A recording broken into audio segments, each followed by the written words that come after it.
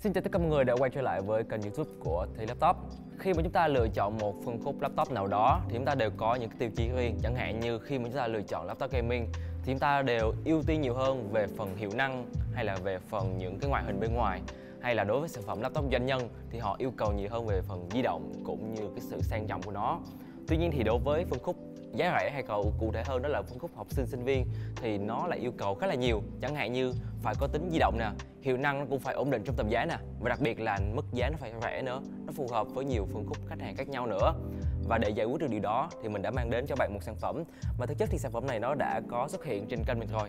Đó chính là chiếc Asus Vivobook A14 à, ờ, với tên mã ở Việt Nam đó là A415EA và đặc biệt hơn nữa là sản phẩm này được trang bị cấu hình Intel mới nhất là Intel J11 Vậy thì với những gì mà nó mang lại về Intel J11 về thiết kế về ngoại hình lần này của Asus, liệu nó có thể trở thành một sản phẩm tốt nhất dành cho học sinh sinh viên trong năm 2021 hay không? Hãy cùng mình tìm hiểu ngay sau phần intro nhé.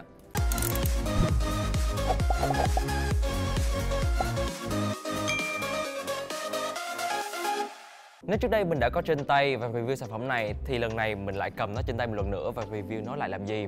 Vậy thì sự khác biệt của phiên bản lần này so với phiên bản trước đây là gì? Đó là về phần cấu hình. Nó trang bị là CPU i5 1135G7, RAM là được nâng cấp làm 8GB cũng như là cái đồ họa lần này thì sẽ có sự thay đổi so với bản Core i3 đó là sử dụng cái đồ họa Intel Iris Xe.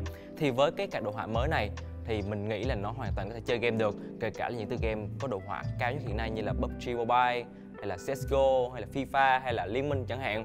Còn đối với phiên bản Core i3 thì nó chỉ có thể làm chơi được những tựa game nhẹ nhàng như Liên Minh mà thôi. Còn đụng đến những tựa game nặng hơn thì mình nghĩ nó không thể nào đáp ứng được. Còn về những tác vụ văn phòng thì sao? Thì ngay kể cả là phiên bản Core i3 nó đã hoàn thành rất là tốt rồi, thì mình không có lý do gì mà khiến cho phiên bản Core i5 này không thể nào làm được cả. Và để lý giải được điều này thì mình đã nói rất nhiều trong nhiều video khác nhau, bởi vì đây là được trang bị hiệu năng là Intel J11 thì với J11 nó sẽ mang lại xuất nhịp cao hơn nè. Ờ, uh, TDP cũng cao hơn nè 28W so với lại 15W như trên thế hệ 10 trước đây. Thì với việc xung nhịp được nâng cấp với lại uh, công suất tiêu thụ điện năng cũng nâng cấp hơn thì việc là hiệu năng của nó được nâng cấp mạnh mẽ nhân đôi so với lại thế hệ 10 trước đây thì chắc chắn là điều dĩ nhiên sẽ xảy ra. Và đặc biệt nữa đó là nó được dán tem của Intel Iris Xe đồng nghĩa việc là RAM của nó trang bị là RAM Dual Channel. Thì với RAM Dual Channel so với Single Channel thì tất nhiên hiệu năng cũng sẽ được nhân lên gấp bội nữa. Và một cái đó nữa thì đây cũng là vi xử lý được xây dựng trên tiết trình là 10 nanomet. Thì với 10 nanomet nó sẽ mang lại cái công suất tiêu thụ điện năng ít hơn. Thì với việc là nó sẽ tiết kiệm được điện năng nhiều hơn mình sẽ sử dụng được pin thực thời gian trâu hơn. Và trong một bài test thực tế thì mình có sử dụng trong môi trường điều kiện là 100% độ sáng nè ờ, uh, 70% loa ngoài và chỉ sử dụng tác vụ văn phòng thôi. Thì nó mang lại thời lượng khá là ấn tượng đó từ khoảng 6 đến 7 tiếng khá là phù hợp cho một nhân viên văn phòng hay là học sinh sinh viên không nào?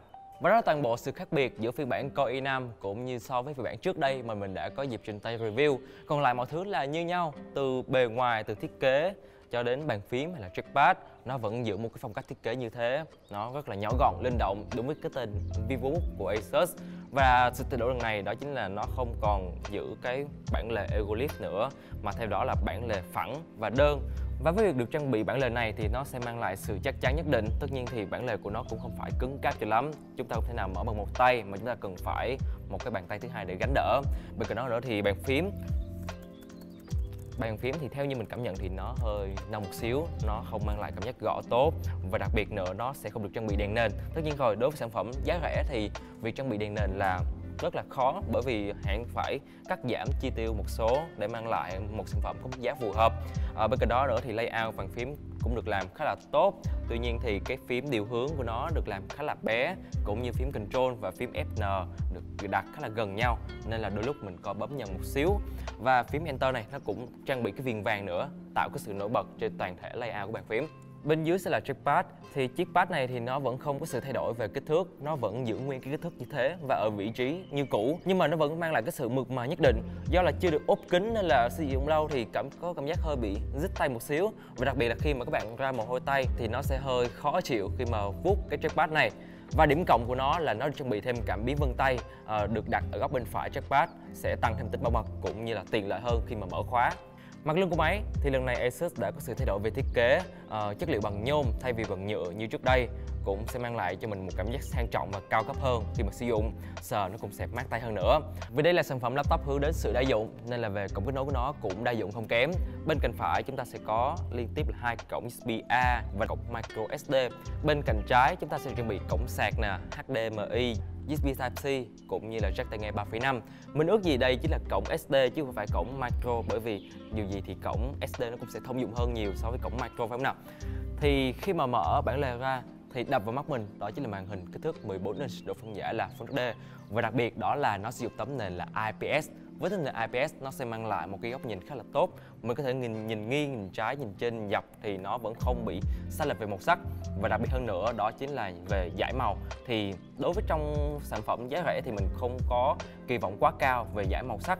Nhưng mà nó mang lại giải màu khá là tốt về sRGB hay là Adobe RGB trong phân khúc nó giá rẻ như vậy.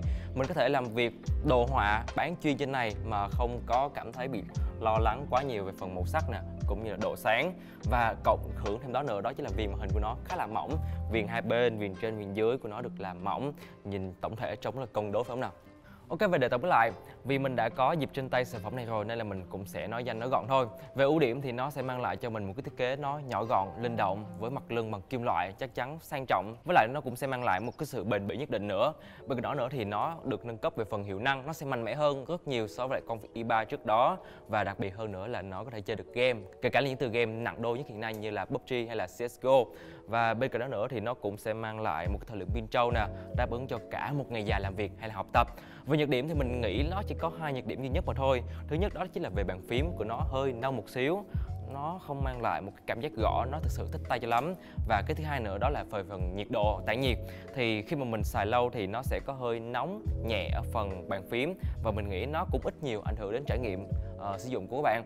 Và đó là những quan điểm của mình về sản phẩm Asus VBook A14 này. Các bạn nghĩ sao? Các bạn sẽ lựa chọn phiên bản Core i3 hay là i5 đừng quên nhớ để lại phần comment bên dưới nha.